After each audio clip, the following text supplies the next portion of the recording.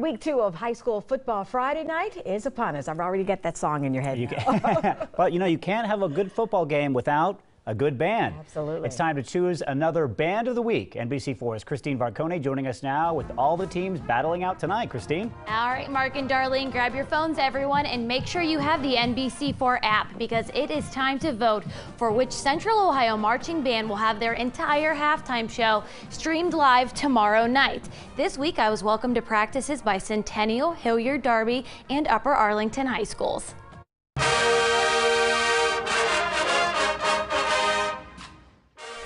The Band of the Week crown this time? The Centennial Stars? Hilliard Darby Panthers? Or Upper Arlington Golden Bears?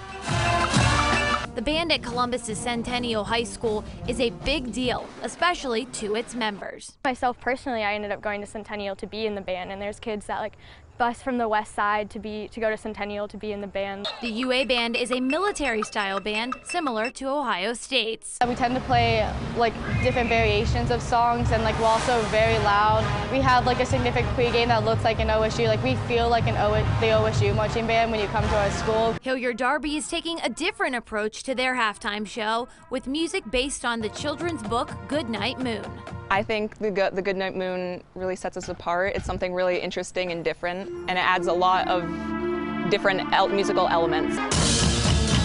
Week after week, these bands are always working hard. But this week, a little harder because they want to share their halftime shows with Central Ohio.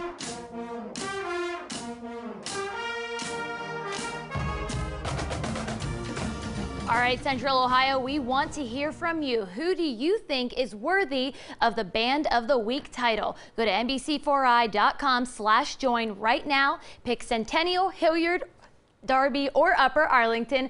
I'll be visiting the winning band during their football game tomorrow night to stream their entire halftime show. It'll be on our website, app, and Facebook page. Be sure to vote right now for your favorite team. We'll check on the results during the 6 p.m. newscast.